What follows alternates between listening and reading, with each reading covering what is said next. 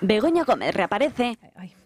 A la espera de que la justicia decida si da carpetazo a la causa en la que el juez Peinado le sigue investigando. La mujer de Sánchez ha sido la protagonista de un acto público de uno de los másteres que aún codirige en la Universidad Complutense, en concreto el de la captación de fondos para las ONG. El acto ha sido celebrado además en el espacio del Caixa Forum de Madrid, perteneciente a la Fundación de la Caixa y misma entidad que contribuyó junto a Reales Seguros a financiar con más de 100.000 euros su otro máster de la entidad. Hace apenas unas horas, la cadena SER reafirmaba la suspensión de la cátedra de Transformación Social Competitiva de esta misma universidad. Dice su resolución de la Comisión de Formación Permanente que lo hacía por los prejuicios a la imagen de la institución, a su devaluación reputacional y también de su prestigio, y por la baja demanda e interés que su plan de estudios suscitaba en el alumnado. Begoña Gómez, que está siendo investigada por dos presuntos delitos de tráfico de influencias y corrupción en los negocios, podría haber añadida a su causa nuevas diligencias por las que se le